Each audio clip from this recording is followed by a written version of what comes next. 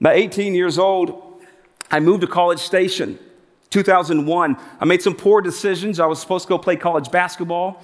I took a gap year because I made poor decisions. Someone threatened to shoot me. I moved to College Station to get away from that threat. Uh, in College Station, uh, I got involved in so much immorality that I became disgusted with myself. At 18 years old, I was broken. I was drowning in my shame because of the, the decisions I had made myself. Nobody made them for me. I can blame it on not having a dad. I can blame it on not the best home life. But the truth is, I chose to make poor decisions. I chose that. I sat in the backyard and I looked up to the sky and I uh, 18 I said I don't know if you're real I don't even know if you want me I am dirty I am hopeless and I am broken I need a father I need one said if you're real please please show me something that you can see me and I just prayed a little dumb prayer would you show me a shooting star please God please you ever done that? Like, God, if it's you, then make this happen?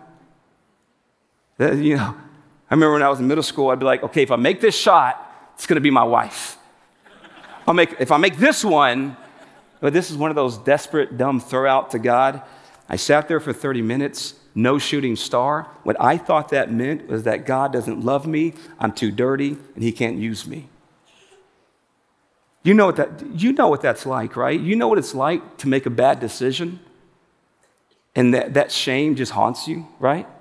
Someone just says the word pornography. All of a sudden, affair. We say that trigger word and the enemy just uses it and you're drowning in your shame. I live that way every day. So when God didn't come through, I thought there's no chance for me to be loved or used by God. I go inside and I attempt suicide at the age of 18.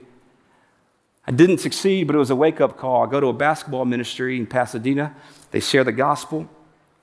Here's all I say I don't know if you're real, but if you are, forgive me. Here I am. And I meant it. And I asked him to be my father. And it's like the taste and desire for sin left my mouth. As I get into this life verse, it's going to make more sense to you now. A story I cannot get away from, a story that can resonate with all of us, no matter if you have a story like mine or not. The thing that we can all relate to in this room today is how it feels to be drowning in shame. How it feels to make imperfect decisions and that decision haunts you forever. How it feels to question God's love for you when you're going through difficult, suffering things.